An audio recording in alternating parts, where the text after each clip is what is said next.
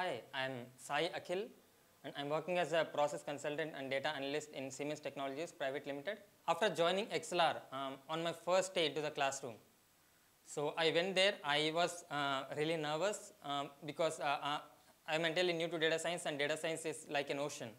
So I felt like how, would- how would it be, how would the faculty um, teach me and everything. The faculty was really good. Uh, they went on about teaching things in a really uh, specific manner. What problems would you face uh, as a data scientist and how would you solve it? So they explained everything in that manner.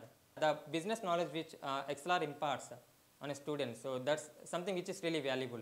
One more great thing about ExcelR is that there are uh, really good value added courses which are provided to me for free without any extra fee like Tableau, um, cloud engineering and you know big data engineering and uh, some really good courses which are uh, in demand in the market which what be learned along with the data science to be a good data scientist. So they gave me a Jumbo pass where they will uh, um, give you uh, all the um, training videos, provide you with all the training videos and uh, some new videos which uh, were about to come as well.